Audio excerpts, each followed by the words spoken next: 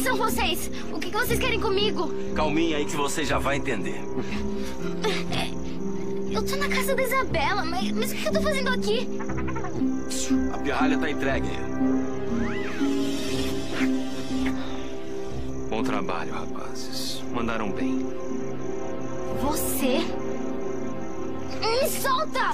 Me solta, me solta!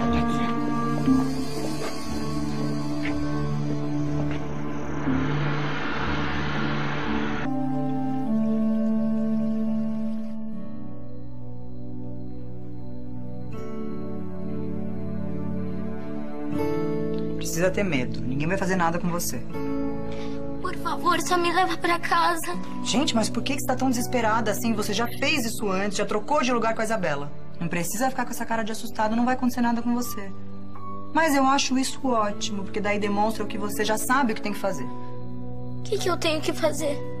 Se passar pela Isabela. Ah, não! Sim, você vai se passar pela Isabela sim.